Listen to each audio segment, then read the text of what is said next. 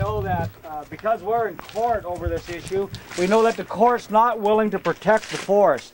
The court's not willing to step in and demand that the governments that are responsible for letting out the permits are going to be responsive to protecting something for the future. And so right now, it's not only our future, those of us that are sensitive to the environment, but even the timber industry. A lot of the loggers don't really understand. Maybe they do, and maybe they're ignoring it because right now they're concerned about employment. Is really targeting to educate them as well as ourselves and also mainly the public. And as Kurt said, this is a peaceful gathering. We're not here for any violence, and we do need volunteers. You know, we want to make sure everything flows. And so uh, Kevin Corrigan and his colleague Kevin have a list. We need people to make sure that the picket line's moving fairly, constantly. We don't want to stop and sit down in the middle of the road. Just keep rotating. There's something for everybody to do.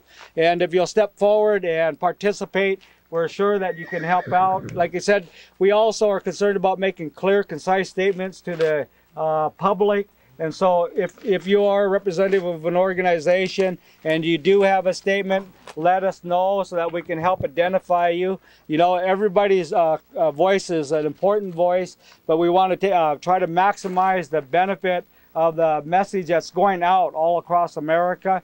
This is where the public's really going to be that we're going to reach. And uh, we are emphasizing that there will be more protests and it is going to escalate because clear cutting is not going to go away. We think it's going to be one action, and then we're uh, um, missing our own sense of who we are in regards to the importance of what's taking place today. It's going to continue, and it's going to get more extensive because there's not enough left as it is.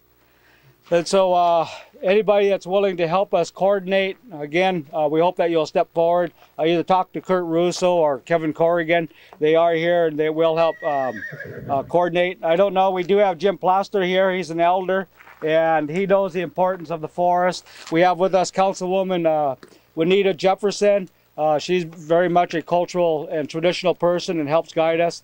And we also have Councilman Vern Johnson here representing the uh, Lummi tribe as well. And so we're going to ask them to make a few statements to each and every one of you. We hope to uh, keep them short so that we do get to the site.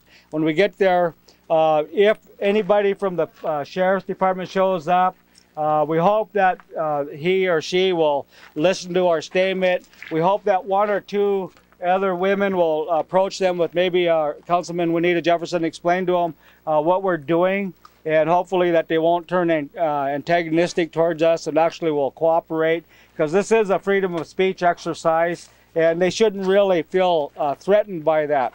If they do, we'll have to pay attention to what they're saying and maybe uh, we might have to move on, maybe not. We'll see. We'll see how it turns out. And so uh, this is where we're at. And at this moment, I'll ask uh, Councilman Vern Johnson to uh, make a message, say a, state, a few words. Thanks.